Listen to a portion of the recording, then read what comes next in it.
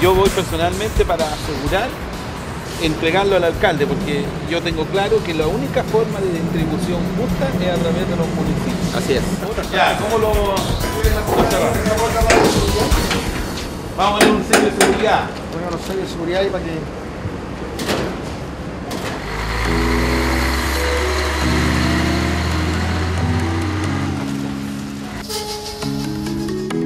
Ante el impacto que ha causado en toda la comunidad esta situación del terremoto y además coincidentemente con esta especulación que hay en el precio del pan en la zona, y ayer coincidentemente me llamó eh, uno de los empresarios de dos molinos de acá de la zona, Molino Linderos de Villaseca y Molino del Valle,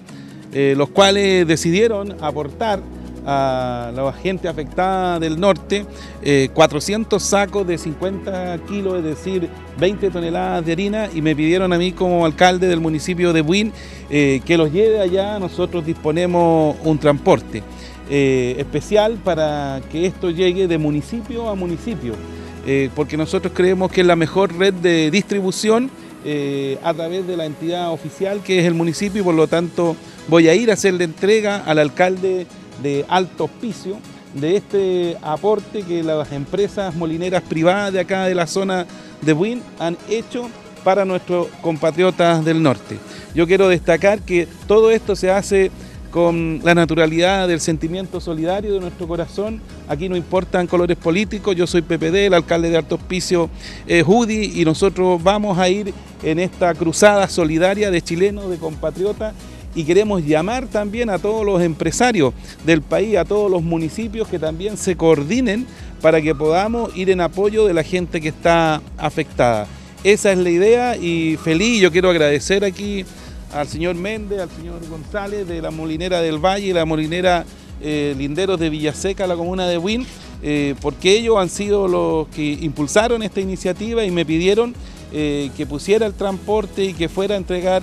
eh, en forma asegurada esta ayuda a la gente que está afectada por el terremoto. Bueno, ¿cómo nace esto de eh, donar, de llamar y querer entregar? La verdad que nos llamó la atención que habían noticias que habían estaban especulando mucho con los precios del pan y eso nos incentivó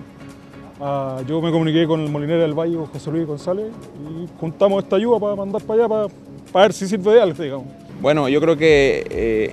de hecho, quiero en el fondo también hacerme eco de, los comentarios del alcalde, hacer un llamado a los empresarios que cada uno en el fondo vea lo que puede hacer, lo que, lo que puede aportar a la causa. Creemos que hay un drama realmente en el norte, la situación está muy complicada, específicamente en el tema de la harina, que es lo que nos,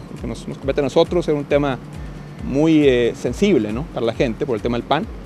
Así que bueno, cada uno eh, vea lo que puede hacer por, el otro y, y bueno, poder hacer un aporte. ¿no?